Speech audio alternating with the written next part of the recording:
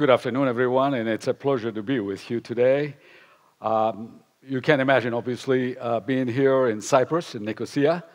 Um, as somebody that is made in Cyprus and exported to the USA, I must say that I'm more of a Cypriot than an American.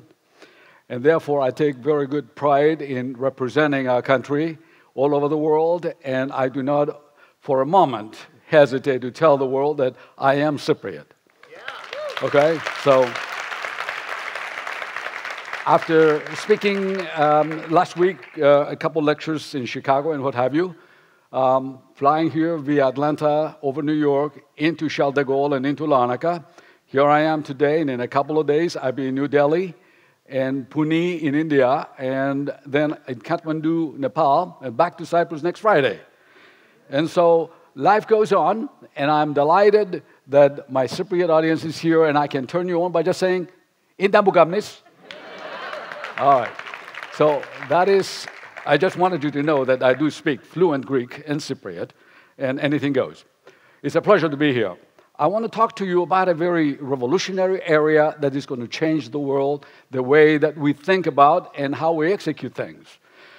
I'm going to talk to you about the most powerful cell that we have in our body, namely the stem cell. And stem cell is uh, the basic unit of life that we all have, millions of them in our bodies. And then we can trigger various different types of activities uh, that we can give command to a cell like that to rescue us, if you will. And I'm going to talk a little bit more about this rescue thing. Um, stem cells, obviously, are, like I said, they're in millions in our bodies. They move around, they execute things properly, and they replicate, just like everything else. So, via mitosis, that's just cell division, uh, the cells can obviously divide into two. The one can give rise to a neuron cell, or, and of course, replenish itself automatically. So we don't run out of gas here. We got plenty of it.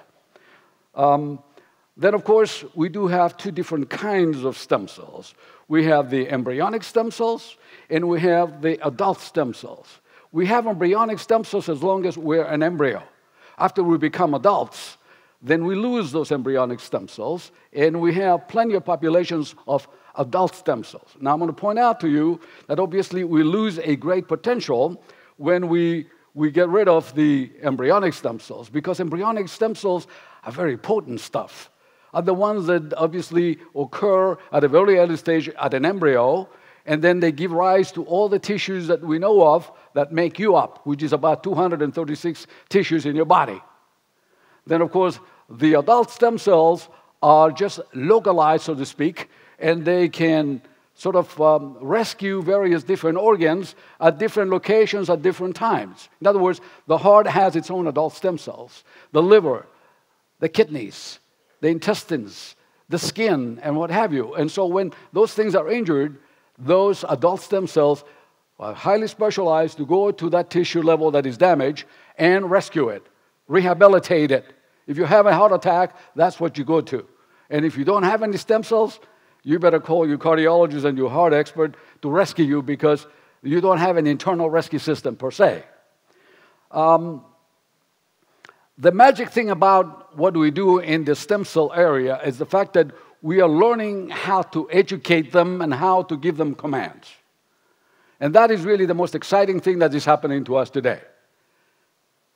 Imagine for a moment if you had 100 kids and you let them loose in the schoolyard without a teacher and without an education, they're going to become a bunch of outlaws. But if you train them and you give them special commands and you know the language they speak, then you can take this endothelial cell and make it into a mesothelial cell, which of course can rescue your skin. So we can make skin cells out of giving specific commands to those cells, and I'm going to talk a little bit further as we go along. Now, if you think that this is just a kind of a shouting game that you shout at the cells and say, Yeah, come on, I want you to come over and have a cup of coffee or a, a, something else with me. Obviously, that's not as easy as that. In order to do these kinds of things that I'm describing to you, you need a couple of basketball teams of experts.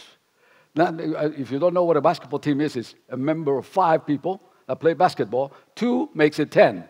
So we have to have engineers and computer experts and doctors and scientists and, and uh, all kinds of things, including obviously behaviorists and uh, ethologists and uh, uh, all kinds of different denominations because very simply, if you do the wrong thing, and I discovered that to be the case in America, and I ended up obviously before various uh, audiences, uh, they can chew you up and spit you out live and in color.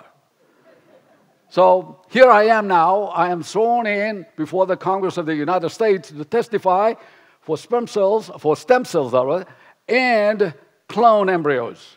Now, how do those two relate? I'm going to explain further as we go along. However, I was able on uh, August 7th, 2001, to tell the Congress of the United States to get down to their senses and stop politicizing things and appro appropriate money and begin to legislate in order to protect people like me and others to get ourselves involved in this kind of research because we simply we we know how to maneuver and manipulate the most powerful cells in our bodies and we can change the world that we how we diagnose a disease and how we treat a disease therefore those are remarkable things that, um, that um, we have to do. Now, if you think for a moment that speaking to the Congress of the United States is an easy assignment, think again. Because very simply, you can obviously motivate a bunch of crooks how to make sense and listen to the people of America. Um, I want to tell you that in the cloning business, which of course is related to stem cells, we were able to write up some very serious milestones, and we published these data, so nobody can argue about that. We were able to create the first clone embryos in the history of the world. We were able to transfer the first clone embryos in women to get them pregnant and give rise to a child clone. And then, of course, we were also able to develop a lot of different technology that enables us to understand how the system works and how we can put it to work. Uh, just to give you an example, we created the first clone hybrid embryos via which we use cow eggs and human genome. And we put it all together and we had a hybrid clone. Now, this hybrid clone cannot survive and give rise to a child. However, we were doing this in order to understand how the dynamics work when we put the human genome into a cow egg so we can understand how we can put the human genome into a human egg and get results. And we're able to achieve a great deal because when they created Dolly, they used 370 eggs to create 22 clone embryos. That's less than 5% success. We were able, with this modeling business that we do, to obviously um, be about 50% successful instead of only 5% successful. Those, those, those were part of our criticism that we received.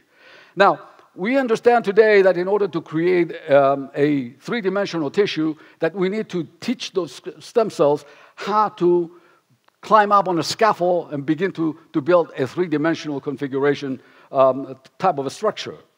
Uh, furthermore, we were able today to sort of develop the modeling business and begin to treat various different types of diseases that obviously people suffer from. Anywhere from skin to liver, to spleen, to pancreas. And then, of course, we are hoping also to, uh, to rehabilitate people that are, are, missing limbs. And I'm going to discuss that uh, as we go along.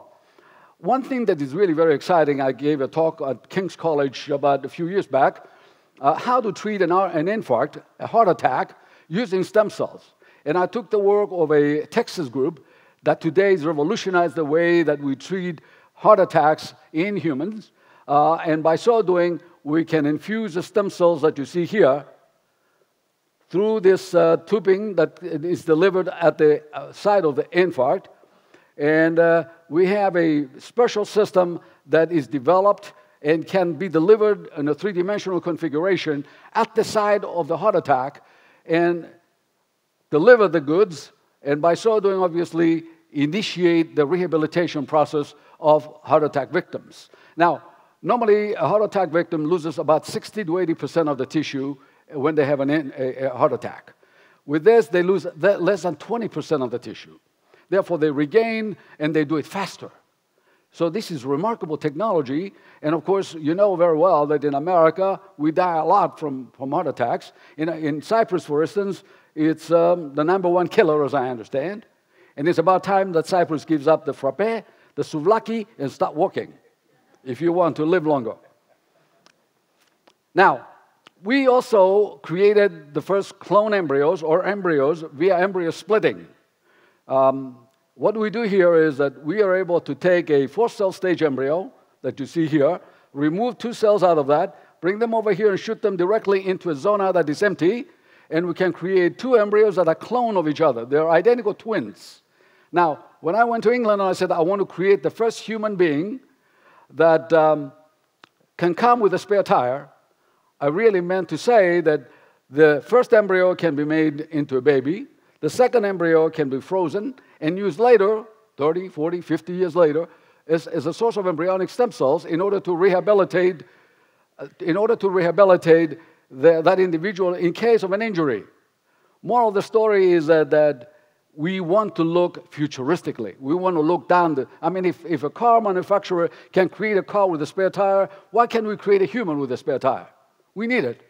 Now, we came a long way, and today we can create actually stem cells from skin cells, and therefore we may not this, we may not need this particular technology. But think for a moment that you can take this and then freeze the other embryo, and then 20 years later, you can say, I really want to have a twin brother born.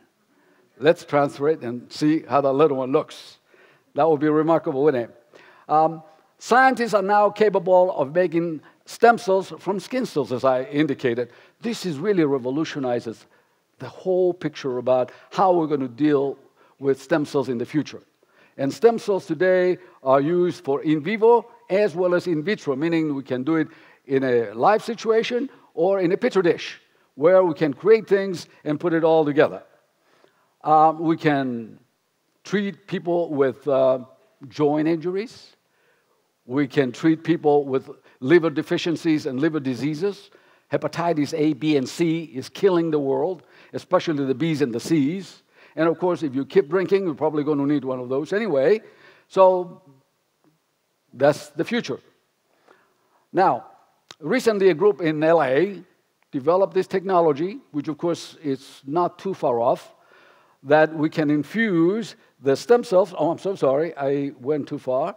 Um, uh, they can infuse the stem cells after we grow them in a petri dish inside the posterior chamber of the, of, the, of the eye, and by so doing, we can regenerate the retina, which is the tissue that enables you to see.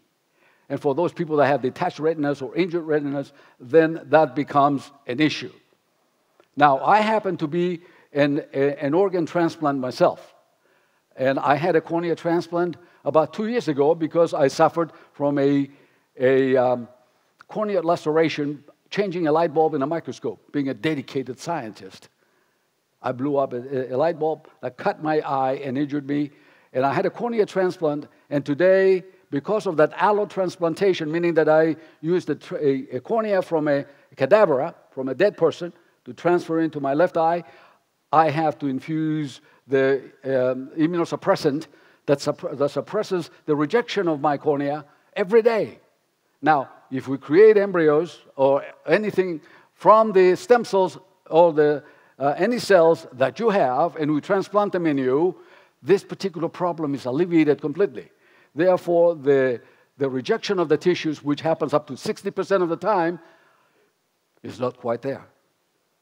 It's less than 20%. And therefore, the complications are reduced tremendously and success rate goes up sky high.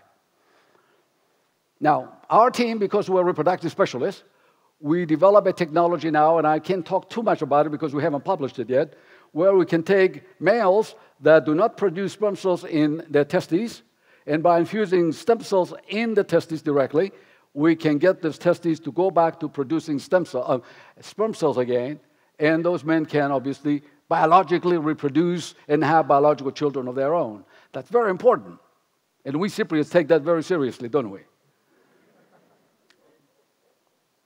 Now, this scaffolding business is very important because we're simply, by creating three dimensional configuration scaffolds, we can teach the stem cells how to create a trachea.